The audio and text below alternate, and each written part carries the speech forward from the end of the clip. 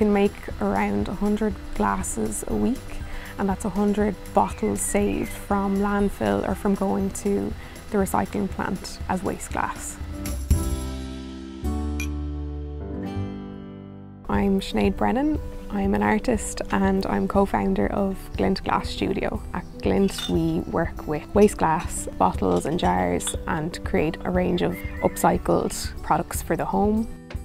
When we set up the studio, friends and family kept bringing their waste glass to us to see if we could do something with it or if it's something that we might use. And in time we became more and more aware of how much waste glass is created.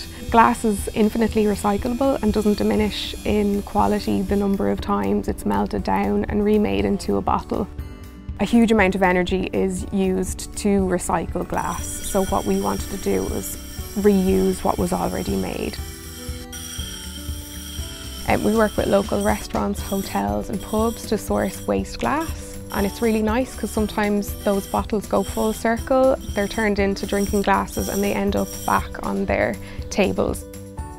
We need to take action and we need to consider our actions. It feels really good that we're saving that waste and turning it into something beautiful and useful and not adding to the problem.